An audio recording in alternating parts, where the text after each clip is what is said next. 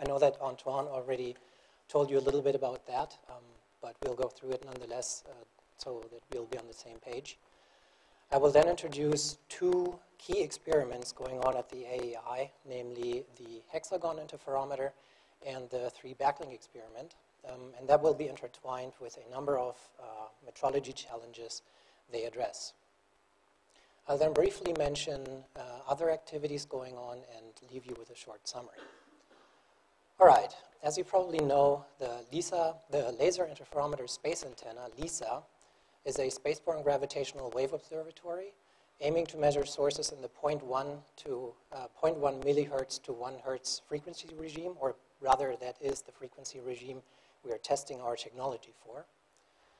Um, in essence, it's three, uh, three, spacecraft orbiting the sun in a tilted cartwheel formation with mean inter-spacecraft arm length of 2.5 million kilometers um, and a peak target strain sensitivity surpassing 10 to the minus 21 uh, per root hertz. Um, similar to uh, ground-based detectors, core to LISA is the optical readout of differential path lengths between free-floating test masses. However, as the test masses are aboard drag-free controlled uh, spacecraft, we have to use cascaded interferometry from test mass to optical bench on one spacecraft, optical bench to optical bench between spacecrafts, and optical bench to test mass on the far spacecraft. Um, due to the enormous inter-spacecraft distances, yet only limited telescope sizes, um, a spacecraft cannot act as a passive uh, end mirror to another spacecraft, so we have to use a master transponder scheme instead, where the laser on the far spacecraft is uh, offset locked to the frequency of the inbound beam and then sent back in its place. Um, orbit dynamics um, give rise to continuous arm length changes on the order of plus minus 1, as well as angular variations of 1.5 degrees um, over the period of a year. Please note that int the intra-spacecraft test mass readout has been well tested, as proven by the overwhelming success of LISA Pathfinder, so the remaining challenges are basically long arm interferometry and phase reference between two moving optical benches within one spacecraft. On the other hand, many aspects of inter-spacecraft interferometry will soon be tested within the GRACE follow-on mission, which is scheduled for launch in late April of this year. Um, now let's go to the list of metrology challenges, and we'll start off with the primary beat note readout and phase extraction. Um, due to arm flexing, um, there will be large dynamic Doppler shifts. Um, so we have to use heterodyne interferometry with uh, photoreceivers and phase meters suitable for a frequency range of roughly 5 to 25 megahertz beat notes. Um, because of the enormous distances, we are expecting beat notes on the order of about 100 picowatts, um, which means we are building very low noise photoreceivers. Um, to meet the target peak strain sensitivity with enough noise margin, uh, we are aiming for a phase meter delivering picometers per root hertz precision. Um, and finally, since we are dealing with cascaded arm interferometry, um, there will be no cancellation of laser frequency noise in the sectional measurements. Um, so we need a phase readout system with high dynamic range, and we are talking about up to 10 orders of magnitude.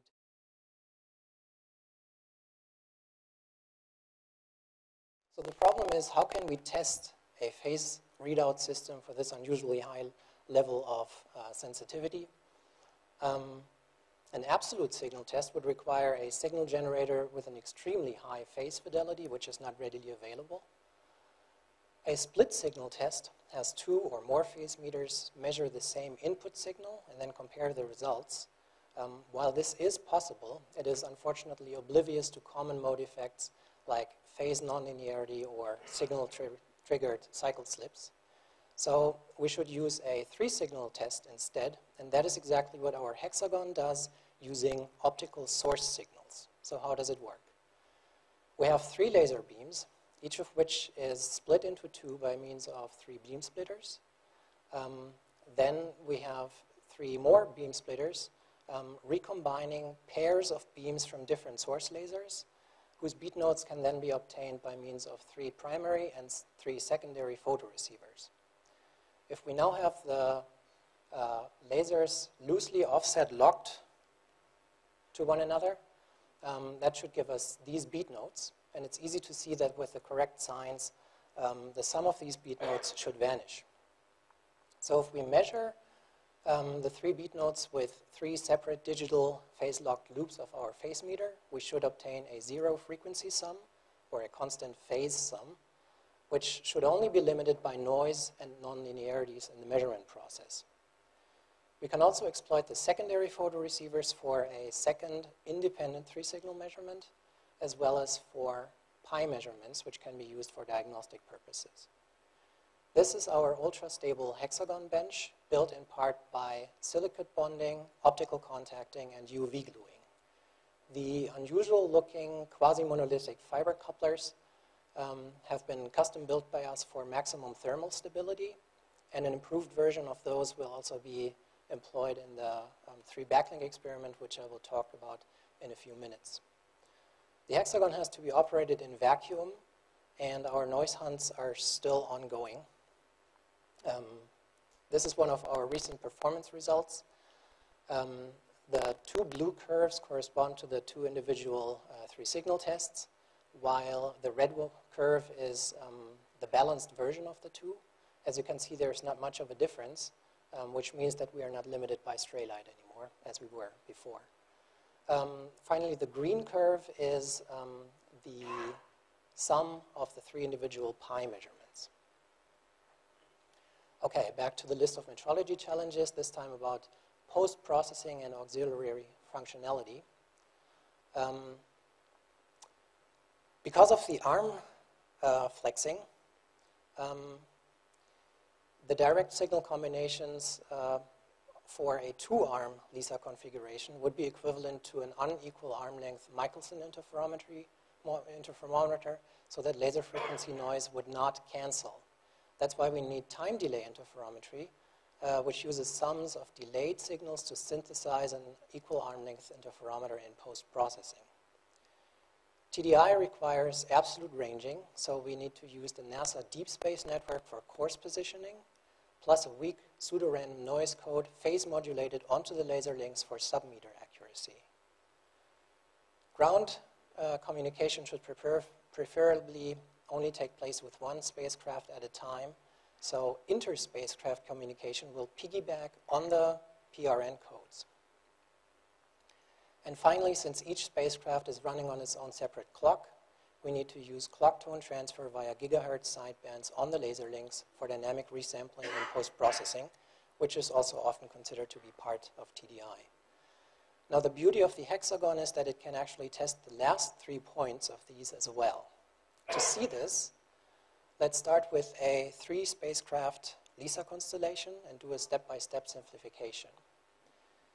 If we assume that there are no external forces acting upon the three laser spacecraft, LISA spacecraft, um, we could remove the test masses along with the dedicated readout interferometers and use only one optical bench and one laser per spacecraft.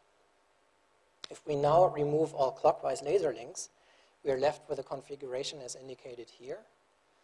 Um, and if we then remove the telescopes and shrink the constellation down to fit onto a single ultra-stable optical bench, we'll have uh, successfully recreated the hexagon. And that is why the hexagon can in fact be used to test drive the full LISA arm metrology chain. Now this slide is rather busy, so let's try to break it down. We have three rows corresponding to the three LISA spacecraft. Um, the hardware in the rows is completely independent from one another um, and all communication between the rows is mediated through the laser links via the hexagon. From left to right, each spacecraft um, is equipped with its own uh, clock in the first gray column and its own phase meter in the second gray column, followed by three dedicated laser preparations, and finally the hexagon in a vacuum chamber. Now, I won't go into much detail here, so suffice it to say that these phase meters, um, besides the primary and secondary beat note uh, tracking, also implement automatic beat note acquisition, laser offset locking, quad phase tracking optimized for differential wavefront sensing, pilot tone injection and tracking, clock tone transfer, sub-meter inter-satellite ranging, and a low bandwidth data communication. So that's our hexagon. Um, now let's look at intra-spacecraft motion and spurious light. Um, the angular breathing uh, within the LISA con uh, configuration um, gives rise to various, to, to variable uh, pointing of the telescopes and their rigidly attached dedicated optical benches um, so that we need um, an interbench phase reference distribution system, PRDS, or otherwise known as backlink, to subtract laser frequency noise in post-processing. Here the requirement is 2 picometers per root hertz of reciprocal phase noise, um, which I will get to uh, in a minute um, with the three backlink experiment. Um, up next, we have imperfect coatings, impurities, and plain old quantum mechanics, which give rise to ghost beams and scattering, and in turn to spurious in-band beat notes in our uh, interferometers, which is especially problematic when thermally or mechanically driven. Um, a sub-item of the previous bullet point is actually fiber backscatter within PM fibers, which has previously been measured to be of the order of four parts per million per meter. Um, but what are the effects of cosmic and solar radiation on uh, fibers and other components? Um, to find out, we are conducting a separate experiment in collaboration with the Fraunhofer INT, uh, where we're using gamma neutron radiation. All right, so what's the backlink? Um, the objective is the following. Each spacecraft houses two TX laser sources, one for each arm, as indicated here in red and green, um, which need to be interconnected by a flexible optical fiber backlink. Now the first uh, solution that comes to mind is to use a PM fiber, which is flexible by design. We could then lock the green laser to the red one using the upper interferometer. However, um, a fiber has a very poor path length stability, um, so we would have to um, use the lower interferometer to measure the phase drift between the two lasers for subtraction in post-processing. However, this only works if and only if the backlink behaves reciprocally that means um, it, at every moment in time, it exhibits the exact same path length uh, in both directions. Uh, test this in the lab, we place this on a, a common slab of Zerodur um, and add a, a, reference interferometer in the middle. And that's the idea of the classic fiber backlink experiment. Um, however, as it turned out, this was not sufficient um, because we got back reflected beams wherever light was coupled into a fiber coupler um, which gave us various beat notes in our interferometers. So we added attenuation stages after the TX fiber couplers um, so that back reflected beams were attenuated twice as much as the TX beams. Unfortunately, no such solution exists for the backlink fiber couplers um, because backlink light and spurious beams would see the same attenuation. As you can see, with the attenuation stages and balance detection, we were pretty much able to uh, meet the required phase fidelity. Um, however, balance detection requires more photoreceivers and photo uh, and phase meter channels, which is something that we are trying to avoid in LISA. Um, so the question is, can we do better? And um, we hope so. Um, uh, in particular, there are two candidates that we're looking at uh, that are worth investigating. This time we actually need rotating benches. Um, uh, so we cannot use a true reference interferometer as we did before, um, but we'll use um, uh, Faraday isolators uh, after the TX fibers to reduce the stray lights uh, from the fiber couplers. Um, so the first uh, alternative backlink um, is the so-called frequency shifted backlink, which uses one local, one additional local oscillator per bench to mitigate the overall path length uh, measurement. Um, and avoid uh, spurious in-band beat notes altogether. The second alternative swaps the fiber for a polarization encoded free beam um, so that the opposing beams can be separated before a reflection at the fiber end uh, can take place. Um, now, if you take these three basic ideas and fold them into a single uh, integrated experiment, you end up with something that looks like this. Um, we just got started on building the first of these very complex uh, ultra-stable benches. Um, yeah, so this is, the, this is going to be the, the three backlink experiment. Let me briefly mention a few other activities. Um, the AEI's LISA optical bench uh, test bed is used um, to learn about uh, the suppression of tilt to length coupling, which arises when science beam and reference beam in an interferometer are not uh, quite aligned to one another. Um, the cartwheel roll of the LISA formation gives rise to um, or, or, necessitates a point-ahead angle mechanism. Um, ultra-stable monolithic fiber couplers for space missions are being uh, developed in the UK, while 30 centimeter telescope optics and scatter simulations are being investigated at NASA. A very interesting uh, technology is being looked into at Airbus, um, namely the in-field pointing approach, which has the potential to get rid of the backlink fiber altogether by using a single optical bench with two rigidly attached wide field of view telescopes in conjunction with beam steering. However, the downside of this technology is that, the actu that we have actuators in the optical science path um, where, where uh, absolute path lengths do matter, and um, these types of telescopes are more prone to scattering. Of course, there's much, much more which I cannot uh, mention at this point, so let me uh, leave you with uh, saying thank you very much for your attention, and um, I'll be happy to take a few questions.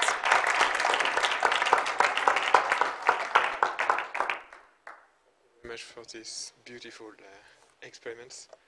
Any questions or comments in the public? Okay, could, could you just remind us when you need to finish such things? Because I know that just one was showing some, some plannings. It seems to be uh, a planning which would be, uh, you need to, to conclude such tests before 2022 or something like that? Um, that's a very good question. Um, I don't have the, the timetable in my head. Um, we are the the LISA mission is officially scheduled for 2034. Um, but we're uh, pretty much uh, confident that we can do it by 2030 or even a little bit earlier than that. Um, for the backlink, we have a timetable um, which should be done within the next one or two years. So it's very, uh, yes, um, and there is still a lot of work to be done.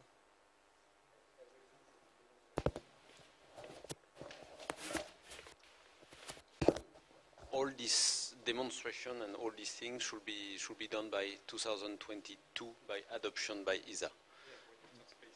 When you start phase C for industrialization. Thanks. Okay. Any other?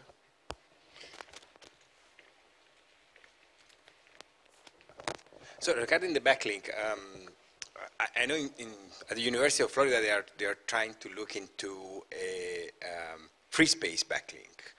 Uh -huh. Have you considered that? You're not considering because they're looking into that? no, like, no, you know, no, no. Um, we without any actually, fiber. We, we are actually looking into this.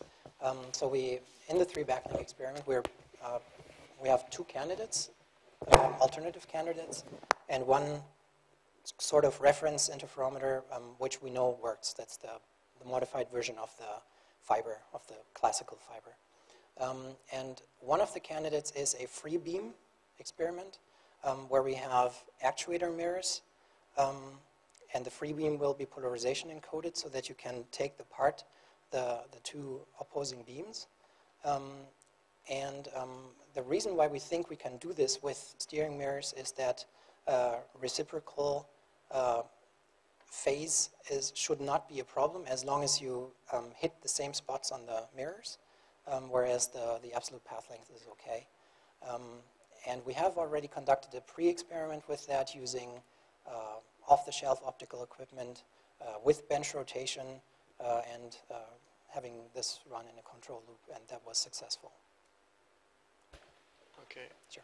Any other urgent questions or comments? Okay, so let's thanks again to speakers. And moving back to Maple for the coming back.